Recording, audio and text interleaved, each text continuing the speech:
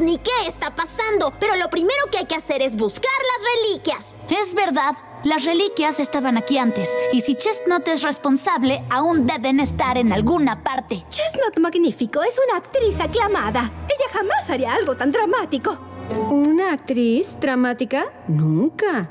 Pues podría ser algo así si quisiera zafarse de una película que no quisiera hacer. Pues Fluttershy, Pink, Spike y yo sigamos a Chestnut a ver si averiguamos algo.